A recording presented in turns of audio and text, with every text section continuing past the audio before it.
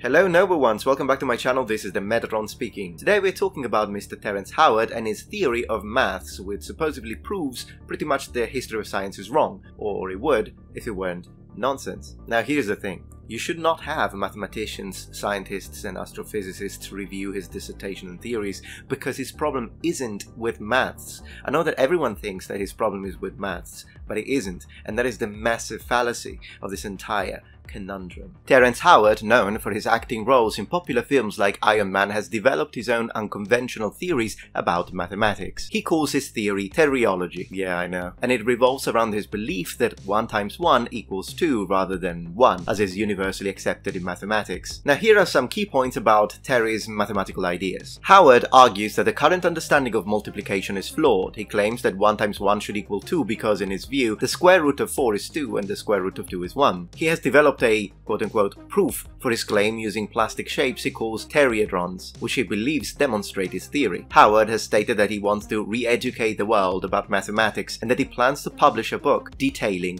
his ideas. Of course he does. And he claims that his theory has applications in various fields including space travel and energy production. It is important to note that Howard's views on mathematics are not accepted by the scientific community. His claims go against fundamental principles that have been rigorously proven and applied successfully for centuries. Despite the lack of scientific support, Howard remains passionate about his ideas and continues to promote them through interviews such as with Joe Rogan and social media. Now, before tackling the theory proper, I'd like to underline one thing. These views have not garnered the interest of the public due to their inherent scientific merit, but simply because of his status as a celebrity. Now, from my point of view, if we were to analyze this at a psychological level, I believe this is the result of an extremely narcissistic mind. I mean, he named his new mathematics after himself, after all, and my guess would be that this entire study is probably motivated by social cognition. But whatever the case, I'm no psychologist. I do believe my area of expertise, namely languages, might prove more apt to discuss his theory than maths itself. I would like to begin my analysis by focusing on two fundamental factors of his theory.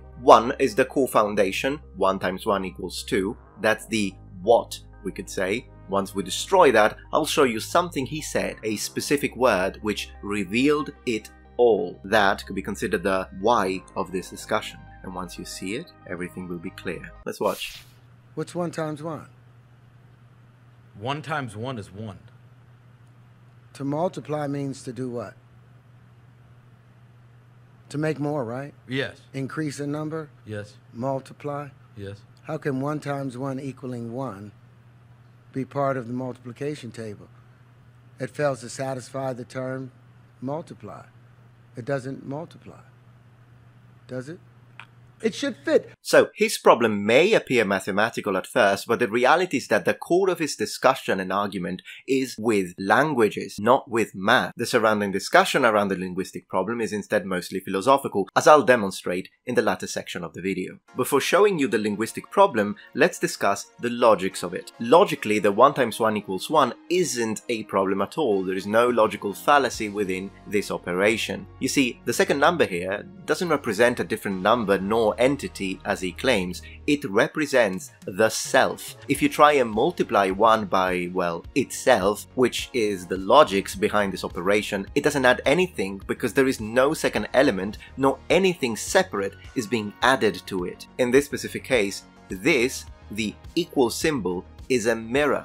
Instead, the way he sees it is that the second element described by the number 1 is a separate entity. It isn't, and I can't believe I have to say this, but a multiplication isn't an addition and it doesn't work the same way. But since all we're talking about now is indeed maths, how is this a linguistic problem? Well, check this out. As you can see, he is fixating on the meaning of the word multiply upon which he builds the rest of his theory. Thing is though, this mathematical equation does not fail to satisfy the term multiply because in mathematics, differently from in general use, the verb to multiply has a very specific meaning which denotes an exact operation. It does not have the broader meaning you ascribe to it, which is the usage in a general sense of the term. Allow me to elaborate. What this man is failing to understand, due to the fact that he has no linguistic training whatsoever, is that words do not just have one single meaning attached to them. He expects that single meaning ascribed to multiply to carry over and fit perfectly every communicative case. The reason why this sort of expectation from a linguistic level is both inappropriate and inaccurate, therefore leading to a irrelevant result, is because in languages you have a type or category of words which are called polysemic. Multiply is a polysemic word. A polysemic word is a lexical item that possesses multiple distinct yet related meanings or semantic variants. Polysemic words exhibit a phenomenon in which a single linguistic form is associated with several interrelated senses or interpretation. The semantic variations of polysemic words often arise through cognitive processes, such as metaphorical extensions, metonymy, or specialization of meaning. These processes allow the word to acquire new senses while retaining a connection to its original or core meaning. The relationship between the different senses of a polysemic word can be based on various factors including similarity, contiguity, or functional association. Let me give you some practical examples. The word bank. Does any financial institution have to have anything in common specifically with the way we describe the bank of a river or a stream? And what about a data bank or a blood bank? Does the word light, which naturally describes the agent that allows sight, have to have everything in common with the adjective light, which describes weight?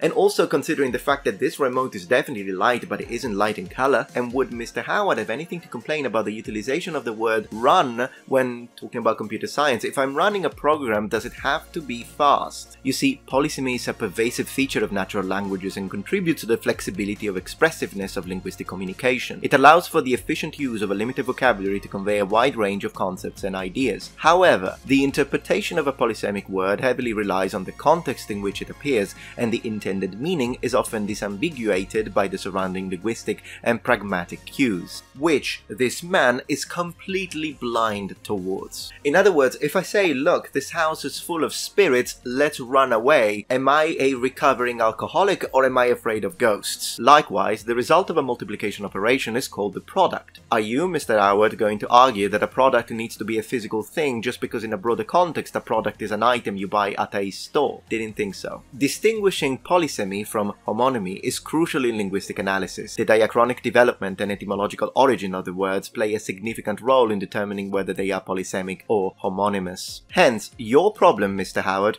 is not with the operation itself, which would bring it to the field of mathematics, it's with the term we use to refer to it, thus making it a linguistic dispute. And once it becomes a linguistic discussion, then understanding polysemy is essential. It becomes essential to various fields, including lexicography, natural language processing, and cognitive linguistics, as it provides insight to the concept structure of language, the mechanism of semantic change, and the challenges of word sense disambiguation in computational contexts. And talking about context, the word multiply when used within the context of mathematics acquired just one fundamental meaning, describing a specific operation, and it is used in a finite sense in various branches of the discipline, including algebra, geometry, calculus, and number theory. Look, I'm a linguist. We can sit down and discuss whether or not the word multiply is fitting to describe the actual mathematical operation, all day. But the fact remains that the operation it describes isn't faulty nor incoherent, whether or not we want to argue that the word itself isn't the best or most apt. And this consideration alone is sufficient to refute his entire thesis. Now that we have debunked this part, I want to connect to what I was telling you before. Check this out. Focus on his exact vocabulary because this will give it all away. Watch. Okay, go to your calculator. Whatever the new. No, go to Okay. your calculator. Go to your calculator. All right. Go to calculator. Go to your calculator. Yeah, I got do you. too. You got iPhone? What are we doing? I want both of y'all to do two separate things. I want to do the same thing to start with. Turn it to the side. Okay.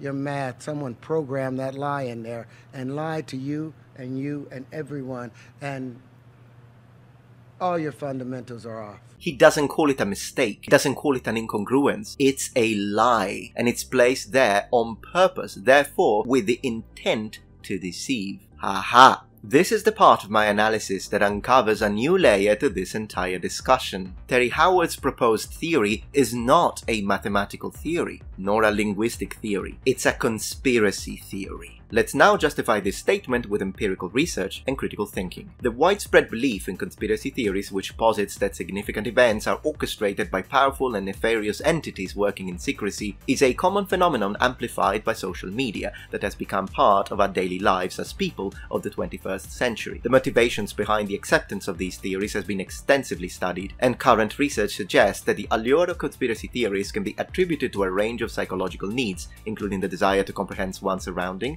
which we call epistemic motives, the need to feel secure and in command of one's environment, which we call existential motives, and the drive to maintain a favorable self-image and protect the reputation of a person within a social group, which we call social motives. In the words of Heider, finding casual explanations for events is a core part of building up a stable, accurate, and internally consistent understanding of the world. Casual explanations serve the need for people to feel safe and secure in their environment and to exert control over the environment as autonomous individuals and as members of collectives. Conspiracy theories, by their very nature, involve a degree of conjecture as they propose covert activities that are shielded from the public eye. These theories often present intricate scenarios that require the synchronization of numerous players, adding to their complexity and by extension improbability. In other words, now that we know that to him this isn't a mistake, this isn't a misunderstanding, it is a systematic, if not systemic, worldwide deception that has been going on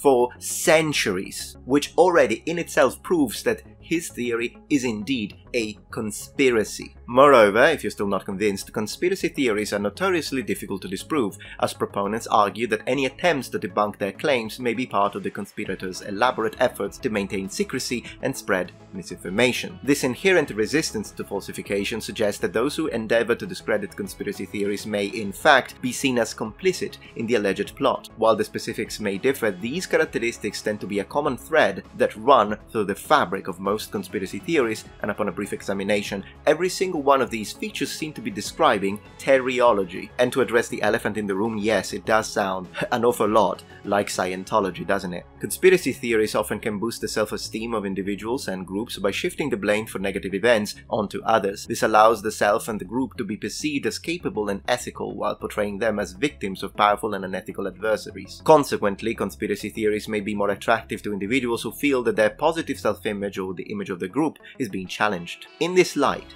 conspiracy theories can be viewed as a paradoxical or counterproductive expression of goal-directed social thinking. Now that we have demonstrated that this theory is clearly a conspiracy theory, let's discuss the philosophical aspect of it. From his book. So, it is fair to say that the concept of zero has been either misrepresented, misinterpreted, or completely misunderstood. I once had a debate with an esteemed professor of mathematics from Chicago University concerning the notion of zero. It went as follows. I was on a publicity tour for the release of the feature film Red Tails, and we just so happened to be having dinner at a Montage Resort in Dana Point, California. I made the statement that there was no such thing as zero. He looked at me with a puzzled look upon his face for a moment, and then the professor said, Let's say you had an apple, and I had an apple, and you gave me your apple. How many apples do you have?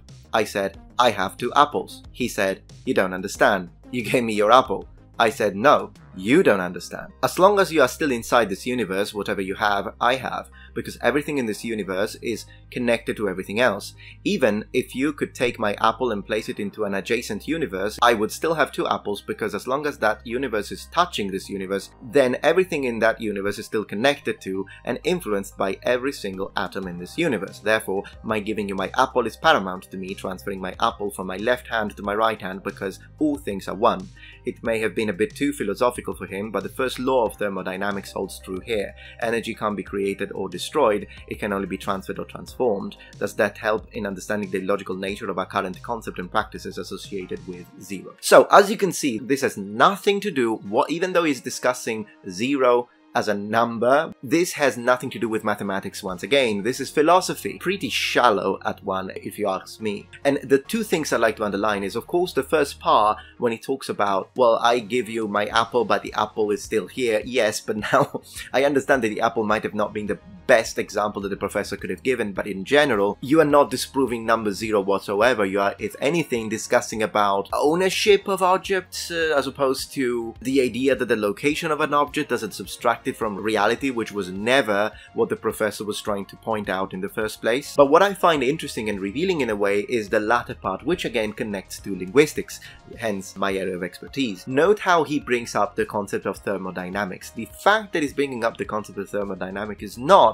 because in this case it's in fact apt. It has nothing to do whatsoever with the idea of the existence or theoretical existence of number zero. It has everything to do, however, with his intention or goal, which is manipulative in nature, which is, look, I'm gonna quote something that sounds smart so that that gives validity to my case. And that in itself is not only a linguistic aspect of this whole discussion, but it is once again manipulative in nature. And even though misquoting thermodynamics to a professor probably didn't have any effect whatsoever, quoting the law of thermodynamics to the layman will. And he knows that. And we can see this at Joe Rogan.